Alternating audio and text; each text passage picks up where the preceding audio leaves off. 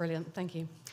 Um, so I'm actually going to uh, change tack a little bit here and take a somewhat practical view about what publishers can do together with Crossref to increase trust in both your content um, and in publishing practices. So I'm not going to explain who Crossref is, what we are. I think probably everyone here knows that.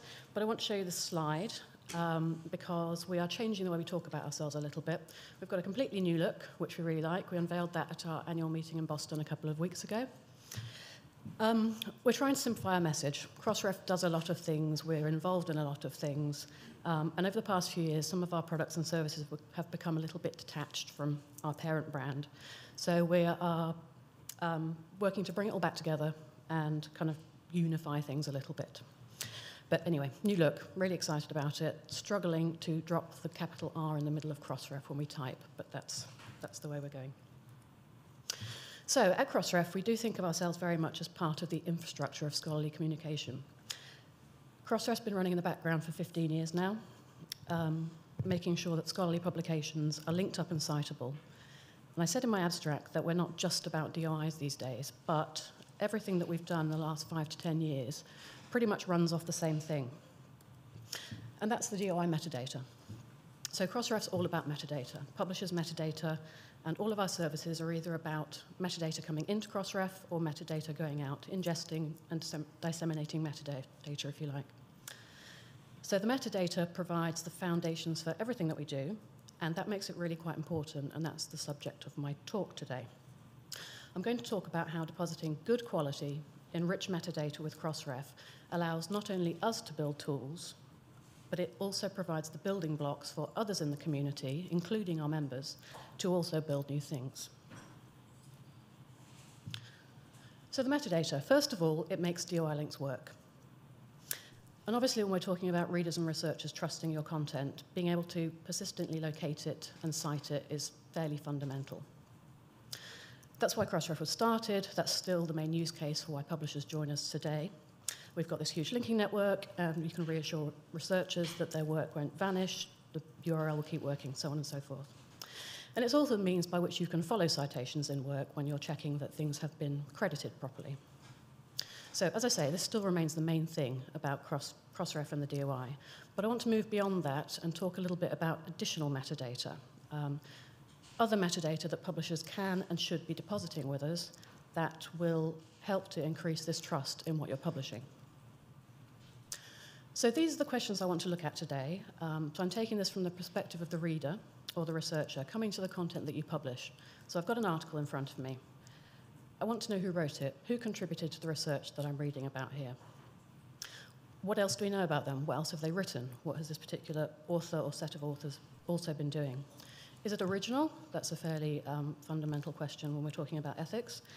Has anything happened to this article since it's been published? Have there been corrections applied? Has it been retracted? That's a very important thing to know. Has it been peer reviewed, and if so, how? What can I do with it? Or conversely, what should I not do with this piece of content? So, getting the correct answers to all of these questions helps the reader to trust what they're reading and to trust where it's being published.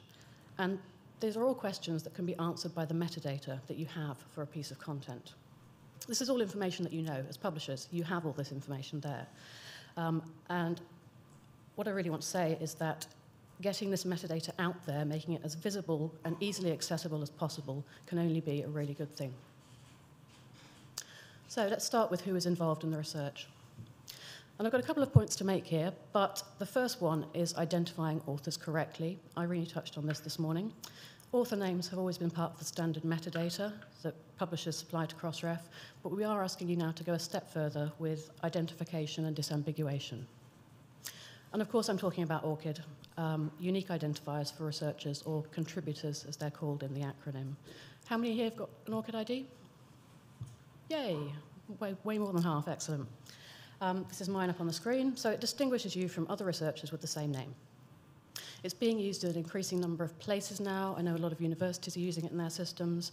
Publisher submission systems, I think most of them have at least the option for you to um, log in and work through the process using your ORCID. And the message from Crossref is if you are collecting ORCIDs in any of your publishing processes, push them right through to the metadata and send them to us too, because it makes a huge difference. If we can tie everything up, it makes things much clearer. So if you've got a paper in front of you from author A, and you want to know what else they've written, you might be able to find them out there, the articles, if you can be sure that it's the same author that you're actually looking up. Whereas if Crossref has the DOI and the ORCID tied together, then you can be absolutely sure that that author wrote those additional papers. And I'm talking slightly abstractly about the metadata here, but to give you an example of, um, I'll skip through that, of how you can do that. This is our own search interface, Crossref Search.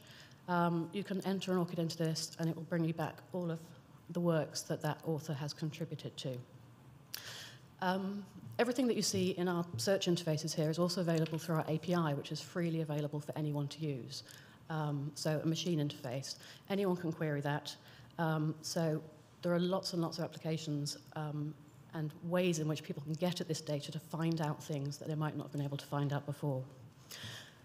The other thing I would say about this is that we don't have all that many ORCIDs in the system at the moment, but as it grows, um, this kind of search will be a really helpful resource for checking things like duplicate submissions or self-plagiarism, if you can easily just pull up a complete list of anything that um, a particular author has contributed to. This is, you can do the same thing on the ORCID site. Um, if you just go and do a search on ORCID, if the author's chosen to share the information, you can find out other works, you can find their affiliations past and present, the grants they've received and their education history, a whole load of information if they've um, populated those fields.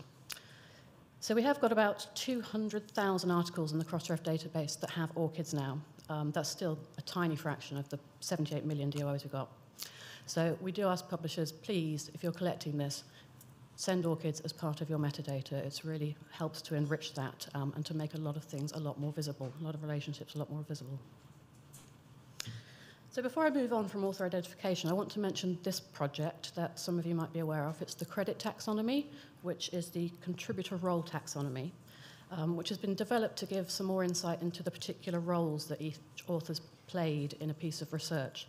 Um, we saw some examples this morning of papers that have got hundreds, if not thousands, of authors. Um, and I think this is aiming to provide some clarity into situations like that. So um, it was developed by a group of publishers and funders, I think. It's now maintained by CASRAI. One of the first implementations, or at least that I've seen, is on the Biomed Central journal GigaScience, which is what I've got the screenshot from here. Um, I don't think you'll be able to read the text on there, but what it is is that authors can um, identify themselves as having had one or more of 14 different roles in the research, and they vary from conceptualization, data curation, project management, writing, reviewing the writing, all the different roles. And of course, an author can have more than one role within that. Um, but it does put some really good visibility on exactly what each person did. And I would imagine that then, particularly if issues come up later, the accountability may become a little bit clearer if you know who did what in the process. This is one piece of metadata we're not collecting at Crossref at the moment, actually, um, but it's very much on our radar, and I think that we will, it won't be long before we start to do that and tie it into probably our Crossmark product, which I'm going to talk about in a minute. So in terms of contribution, it's not just the authors. You need to know who funded the research. That's um, an important piece of background knowledge. That's all information that's in acknowledgement sections, always has been, that's absolutely fine, but it's kind of buried in the full text. Um, and the way that it's always traditionally been done, it's very hard to look at it across publications, to search on it, to mine for it, to look at it in any kind of larger way. So for the last two years, Crossref has been asking publishers to extract that information from the acknowledgements, tidy it up a bit, and deposit this as Crossref metadata as well, funding data. You may have heard of this project known as FundRef. That's one of the ones we're changing the name from. We're stopping, to call, stopping calling everything something ref. It's getting a bit out of hand. Um, but the Funding Data Project um, works on the back of a list of funder names, a list of standardized funder names. We have a file now that contains 11,000 international fund funding bodies. And we're asking publishers to match the funders in the acknowledgement sections to those standardized names in our registry of funders. Or you can ask, the publishers can ask the authors to pick from that list of names when they're submitting their paper and say, these are the people who funded my research. So once they're standardized and deposited with us with their unique funder ID number, they're then again, it's back to tying up the data. So you've got the DOI and the funding body tied together. And we also ask you to send grant numbers if you have them. And this gives something that we've not had until now. So you've got a cross-publisher view of publications that have resulted from the grants of individual funders. This is our own funding data search website, which you can all take a look at. Here you can enter a funder name and it'll pull back all of the articles that cite that particular funder. Clearly, this is a massive benefit, particularly to the funders who have probably struggled to um, check this across all of the publications, um, and particularly those who want to um, check that things are being published in accordance with any mandates that they might have about public access. But you, you can also look at the data in different ways, um, see other trends. If you go back to our main search page, you can put an ISSN in, um, and that, that will bring back all of the articles that have been deposited for that particular journal. And one of the filters is by funder. So uh, again, the text is probably too small, I apologize. Um, but for this particular journal, the, um, they're um, listed numerically according to the largest at the top. And this particular journal, the biggest funder of the research in their papers is the NIH and then the Howard Hughes Medical Institute. So lots of things you can do with querying the data to find out things that could be of interest. From the funder's point of view, they can export this. Um, they get a whole load of information if they want to pull it out to a spreadsheet of um, the DOI, the author names, the article titles, the other funders, which is also kind of interesting because most of the articles that we see coming in, as you know, have got more than one funder. And again, back to the API, I'm going to keep coming back to this because um, at Crossref we think it's really, really important because it's the main source of getting all this rich metadata that we have about your publications out there as effectively as possible. So you can come and query funding data through the API as well. Um, most tedious screenshots in the world of API queries. Um, but one is asking for how many articles have got funding data. The next one is how many have got funding data from the NSF. And then at that point, you might want to say, well, give me all the metadata for everything that's been funded by the NSF. And there's all kinds of things that if you were researching into this, you could be doing with this information. That's the address if you want to go and play with the API. This is just a little infographic that shows where Crossref fits into it all. You've got the traditional funding cycle at the top there with results being reported back to the funder, and then the additional loop of publishing the funded results.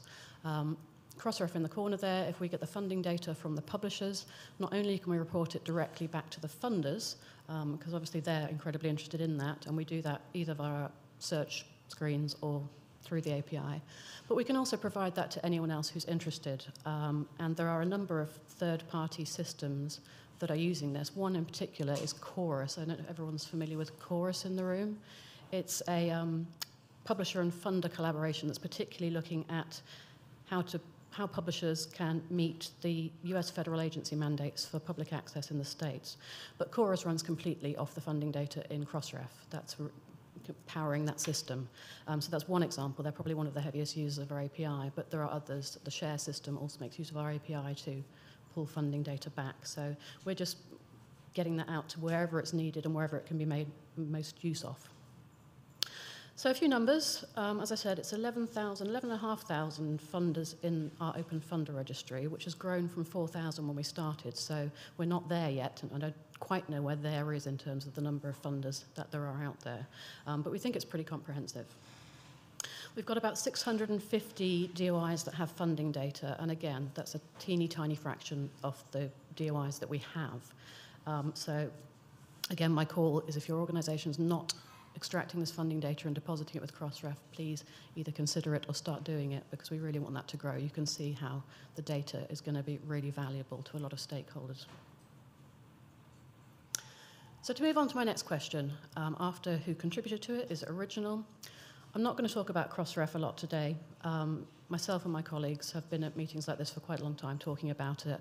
Um, there are lots of details you can get into in it, but I think everyone's aware of what it is um, so I'll just give a quick update and overview on that. Um, if you're not familiar with it, it's a piece of software from iThenticate that allows you to upload a manuscript and compare it against a huge corpus of content, um, including all of the content from most of the Crossref publishers. So just a few stats on it. We've actually got 700 publishers and societies using Crosscheck now, so it's really being quite widely used. And the database that you can check against has got 44 million um, items in it. That's journals, book chapters, conference proceedings.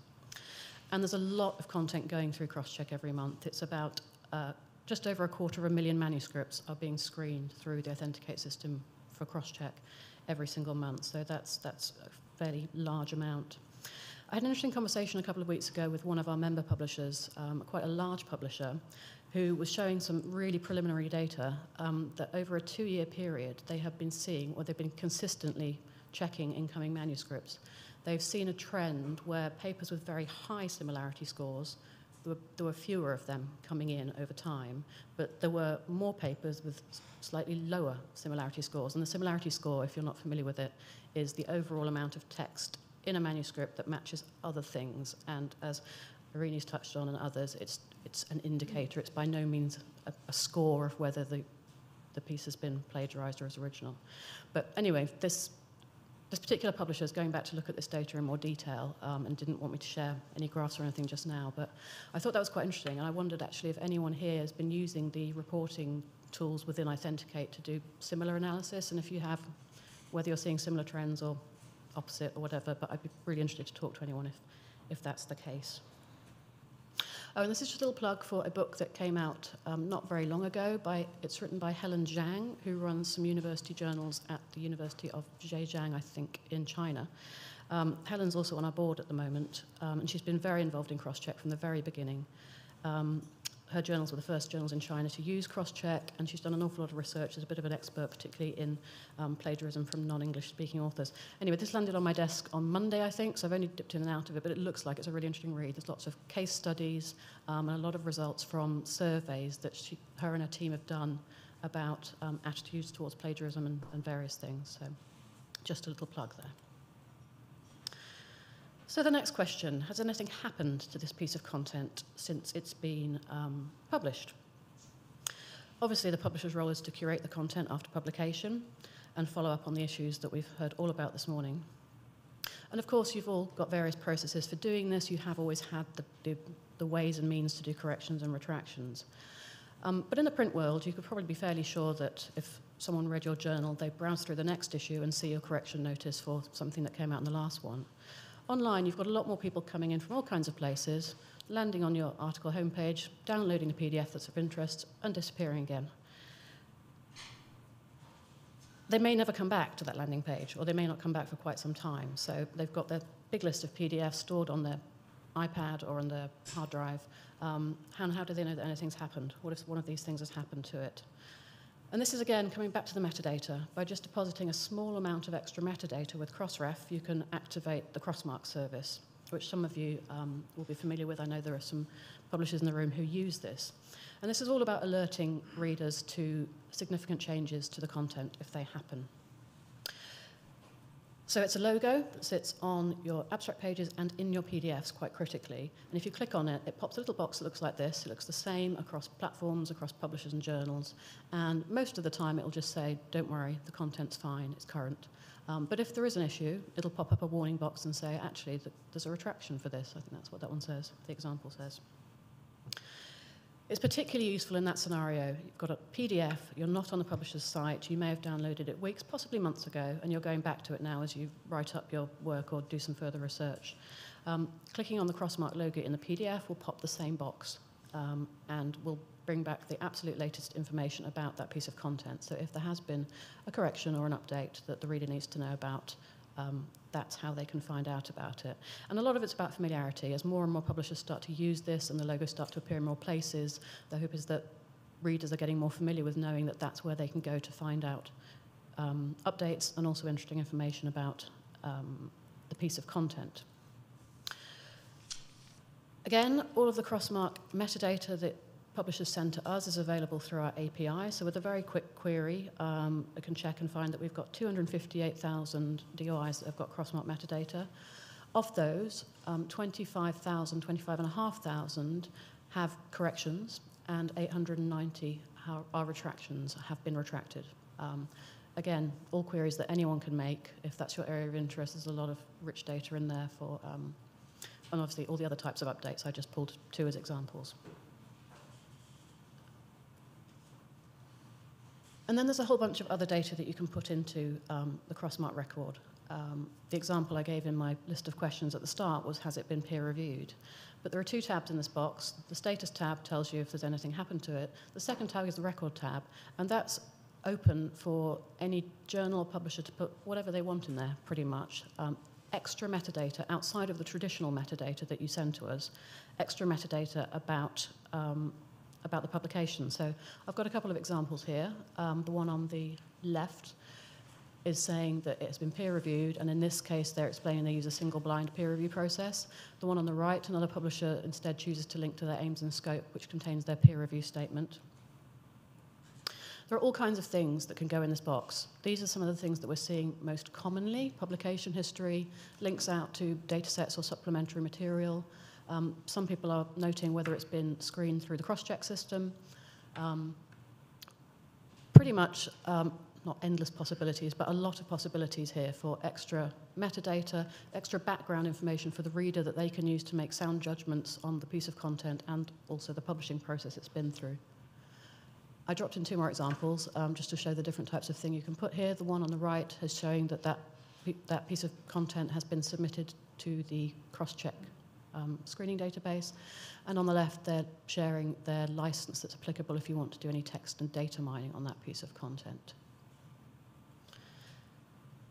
Something that we've got in pilot at the moment that we're really quite excited about as an initiative um, that's taking advantage of the flexibility in the cross-mark metadata um, and that we also think is really going to contribute to um, research transparency. We are running a pilot where we're collecting clinical trial numbers that appear in papers and adding those to our own metadata. So as I'm sure you all know, clinical trials should be registered with the WHO um, approved register and given a number. And then when papers are published that contain that number, if publishers pull that out and send it to us in the metadata, we can start to do the thing of tying things together again. Quite often there are more, there's more than one paper published about a particular trial. Um, I think I've listed here pre-results, post-results, through to systematic reviews and so on and so forth. And if we have the DOIs and CTA clinical trial numbers tied together in the Crossref metadata, we can bring that all together. This is a mock-up. Um, it won't look quite like this, um, but it's roughly what we're thinking. So you've got a particular clinical trial, and actually all of these articles reference that trial. They're from different publishers, um, but they all in some way mention that particular trial. So now you've got a really good cross-publisher resource um, about as many things that we know about that have been published about that particular trial. So it's very much like the DOI system. This is something that you could do within a single publisher, and it would be okay, but actually the chances are that that trial's been published in journals from other places, and being central with Crossref, we can bring that all together. So as I said, this is in pilot at the moment. It's, these organisations have been on the working group and working with us on it, led by um, Biomed Central. I think we're currently anticipating a review of the pilot in late January with a view to um, possibly launching at the end of Q1, possibly Q2, and having it, that information appear in that cross-mark dialogue box. Um, those dates are not quite set in stone, but that's kind of where we're aiming at. If you um, belong to another organisation that's not listed here and you're interested in getting involved in the pilot, please come and find me because we're very open to expanding that group. So my final question um, in my opening slides was what can I do with this? And that's a question that is answered by licensing. Um, licenses or a single license that applies to the content. And again, we're asking publishers to start including these in their metadata deposits to Crossref. If you do that, we can expose them either in that crossmark dialog box or through our API. Um, and you can deposit multiple licenses, so you may have different licenses for different versions, or a good example is if you have an embargo period after which something becomes free, one license to start with, and then another one that has a start date for a year later, and that will trigger um, that one being the valid one. And again, the beauty of having all this in the Crossref API means that other systems, other people can come along and reference these things. Um, for example, funders might be very interested in this. If they are getting back all of that information about the papers that they have contributed to, they may want to also go off and check that the licensing terms are in accordance with their mandate for, for open access. So, I think I've probably talked rather fast and come around to the end, but my kind of call to action, if you like, rather than my summary, is that as publishers, this is all information you have. You've had it for a long time. Um, and we would really, really ask that you get it into your metadata so that we can help you to get it out there. It gives the reader a lot more information to make their own judgments on what it is they're looking at, as much background as they can get. Um, and it lets other people, and particularly other systems, use it either to research various trends, but also to build other tools and ultimately drive traffic back to your content. So please, as much metadata as you can send us is my message. Thank you. Well,